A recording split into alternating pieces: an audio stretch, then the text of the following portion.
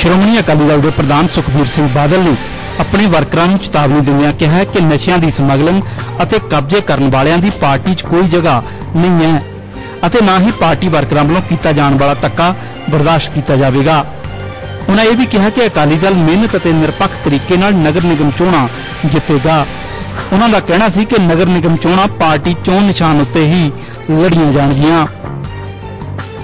Home minister ਹੋਣ ਦੇ ਨਾਤੇ ਮੈਂ ਸਾਰੇ ਵਰਕਰਾਂ ਨੂੰ ਕਹਿਣਾ ਚਾਹਣਾ ਹੈ ਕਿ ਜੇ ਕਿਤੇ ਆ ਡਰੱਗਸ ਦੇ ਕੇਸ ਵਿੱਚ ਕੋਈ ਵੀ ਫਸਦਾ ਹੈ ਜਾਂ ਪਕਾਲੀ ਵਰਕਰ ਇਨਵੋਲਵ ਹੁੰਦਾ ਹੈ, ਉਹਨੂੰ ਕੱਲ ਪਾਰਟੀ ਚੋਂ ਕੱਢਿਆ ਜਾਊਗਾ। ਦੂਜੀ ਗੱਲ, ਕਿਸੇ ਜਗ੍ਹਾ 'ਚ ਕੋਈ ਝੂਠੇ ਕਬਜ਼ੇ ਮੈਂ ਨਹੀਂ ਹੋਣ ਦੇਣੇ। ਕਬਜ਼ੇ ਇੱਕ ਦੋ ਬੰਦੇ ਕਰਦੇ ਨਾ ਸਾਰਿਆਂ ਦਾ ਬਦਨਾਮ ਹੋ ਜਾਂਦਾ ਆਪਾਂ ਨੂੰ ਕਿਸੇ ਨਾਲ ਧੱਕਾ ਕਰਨ ਦੀ ਲੋੜ ਨਹੀਂ। ਮੈਂ ਤੁਸੀਂ ਕੱਲ ਯਾਦ ਰੱਖੋ ਜਿਵੇਂ ਤੁਹਾਡੇ ਤੇ ਝੂਠੇ ਪਰਚੇ ਹੋਏ ਸੀ, ਤੁਹਾਡੇ ਪਰਿਵਾਰ ਨੂੰ ਕਿੰਨਾ ਦੁੱਖ ਹੋਇਆ ਸੀ? ਉਵੇਂ ਕਿਸੇ ਦੇ ਆਪਾਂ ਧੱਕੇ ਕਰਾਂਗੇ ਕੁਝ ਕਰਾਂਗੇ। ਮੈਂ ਦੇਖਿਆ ਕਿ ਜਿਹੜੇ ਵੀ ਲੀਡਰ ਧੱਕੇ ਕਰਦੇ ਆ ਨਾ, ਉਹ ਹਾਰਦੇ ਹੀ ਹਾਰਦੇ ਆ। ਮੈਂ ਕਹਿੰਦਾ, ਉਹ ਕਿਤੇ ਜਿੱਤਦੇ ਨਹੀਂ, ਅਗਲੀ ਵਾਰ ਦੇਖੋ ਇਲੈਕਸ਼ਨ ਆਪਾਂ ਡਟ ਕੇ ਲੜਨਾ। ਐ ਨਹੀਂ ਕਿ ਆਪਾਂ ਹੁਣ ਅਸੈਂਬਲੀ ਜਿੱਤ ਗਏ ਤੇ ਕੋਈ ਗੱਲ ਨਹੀਂ। ਹੁਣ ਆਪਾਂ ਆ ਕੀ ਚੀਜ਼ ਹੈ? ਆਪਾਂ ਤੁਸੀਂ ਯਾਦ ਕਰੋ, ਪਿਛਲੇ ਸਾਲ ਤੋਂ ਜਦੋਂ ਦੀ ਪ੍ਰਮਾਤਮਾ ਨੇ ਬਖਸ਼ਿਸ਼ ਕੀਤੀ, ਪ੍ਰਧਾਨਗੀ ਦੀ ਸੇਵਾ, ਆਪਾਂ ਹਰ ਜੰਗ ਜਿੱਤਦੇ ਰਹੇ ਹਾਂ ਤੇ ਇਸ ਕਰਕੇ ਆਪਣੀ ਆ ਦੂਜਾ ਫੇਸ ਦੀ ਪਹਿਲੀ ਜੰਗ ਇਲੈਕਸ਼ਨ ਆ ਜਿਹੜੇ ਕਾਰਪੋਰੇਸ਼ਨ ਦੇ ਤੇ ਦੂਜੀਆਂ ਕਮੇਟੀਆਂ ਦੇ ਇਲੈਕਸ਼ਨ ਹੈ। ਪਹਿਲੀ ਗੱਲ ਹੈ ਮੇਰਾ ਆ ਜਿਹੜਾ ਆਦੇਸ਼ ਹੈ ਕਿ ਅਕਾਲੀ ਦਲ ਆਪਣੇ ਸਿੰਬਲ ਤੇ ਲੜੂਗਾ ਇਲੈਕਸ਼ਨ ਹਰ ਛੋਟੀ ਤੋਂ ਛੋਟੀ ਕਮੇਟੀ ਵੀ ਅਕਾਲੀ ਦਲ ਆਪਣੇ ਸਿੰਬਲ ਤੇ ਲੜੂਗਾ। ਜਿਹੜੀ, ਜਿਹੜਾ ਸਿੰਬਲ ਨਹੀਂ ਲਊਗਾ, ਉਹਨੂੰ ਪਾਰਟੀ ਚੋਂ, ਪਾਰਟੀ ਦਾ ਕੈਂਡੀਡੇਟ ਨਹੀਂ ਹੋਊਗਾ। ਅਕਾਲੀ ਦਲ ਸਾਰੀਆਂ ਸੀਟਾਂ ਸ਼ਹਿਰਾਂ ਦੀਆਂ ਆਪਣੇ ਸਿੰਬਲ ਤੇ ਲੜੂਗਾ। ਉਹਨਾਂ ਕਿਹਾ ਕਿ ਵਿਰੋਧੀ ਧਿਰ ਕਾਂਗਰਸ ਦੇ ਕਈ ਮੌਜੂਦਾ ਅਤੇ ਹਾਰੇ ਹੋਏ ਵਿਧਾਇਕ ਅਕਾਲੀ ਦਲ ਵਿੱਚ ਸ਼ਾਮਲ ਹੋਣ ਲਈ ਕਾਲੇ ਨੇ ਜਿਸ ਦਾ ਖੁਲਾਸਾ ਜਲਦ ਹੀ ਕਰ ਦਿੱਤਾ ਜਾਵੇਗਾ। ਸੁਖਬੀਰ ਬਾਦਲ ਦਾ ਕਹਿਣਾ ਸੀ ਕਿ ਹੁਣ ਲੱਗਦਾ ਹੈ ਕਿ ਕਾਂਗਰਸ ਪਾਰਟੀ ਦਾ ਪੰਜਾਬ ਵਿੱਚ ਭੋਗ ਪੈ ਗਿਆ ਹੈ। ਮੈਂ ਤੁਹਾਨੂੰ ਇੱਕ ਗੱਲ ਦੱਸਾਂ ਜਿਸ ਤਰੀਕੇ ਨਾਲ ਜਿਸ ਤਰੀਕੇ ਨਾਲ ਉਹ ਅਕਾਲੀ ਦਲ ਵਿੱਚ ਆਉਣਾ ਚਾਹੁੰਦੇ ਆ ਮੈਨੂੰ ਲੱਗਦਾ ਨਹੀਂ ਕਿ ਮੈਨੂੰ ਨਾਲ ਪ੍ਰਧਾਨ ਬਣਾਉਣ ਦੀ ਕਿਸੇ ਨੂੰ ਲੋੜ ਹੀ ਪੈਣੀ ਹੈ।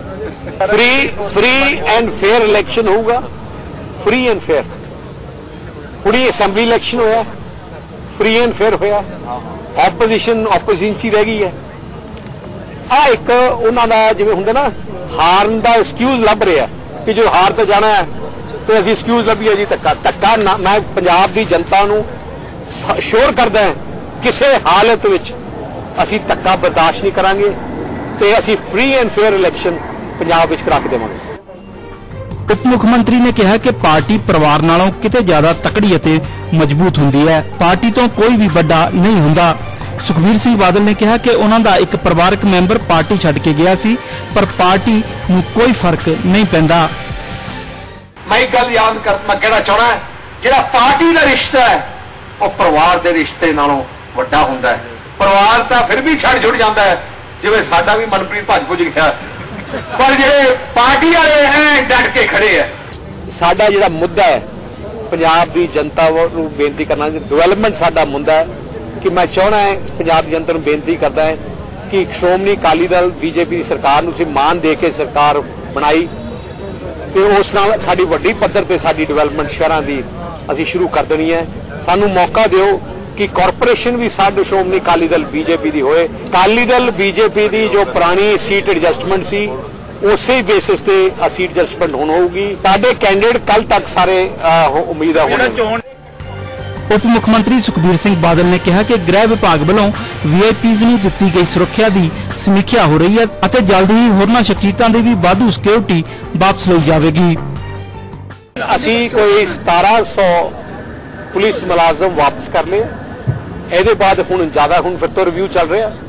ਜਿੱਥੇ ਜਿੱਥੇ ਜਿਹਦੀ ਜਿੰਨੀ ਲੋੜ ਹੈ ਉਨੇ ਹੀ ਉਸ ਨੂੰ ਰਿਵਿਊ ਦੇ ਬਾਅਦ ਸਿਕਿਉਰਿਟੀ ਦਿੱਤੀ ਜਾ ਕੋਈ ਐਕਸਟਰਾ ਸਿਕਿਉਰਿਟੀ ਕਿਸੇ ਨੂੰ ਨਹੀਂ ਦਿੱਤੀ ਜਾਊਗੀ। ਕਿੰਨੇ ਕਿੰਨੇ ਸਿਕਿਉਰਿਟੀ ਪਰਸਨਲ 1700 ਸਿਕਿਉਰਿਟੀ ਪਰਸਨਲ ਵਾਪਸ ਆ ਗਏ ਹੈ ਕਿੰਨੇ ਲੱਗੇ ਹੋਏ ਨੇ? ਟੋਟਲ 7-8000 ਚੋਂ 1700 ਅਸੀਂ ਵਾਪਸ ਕਰ ਲਏ।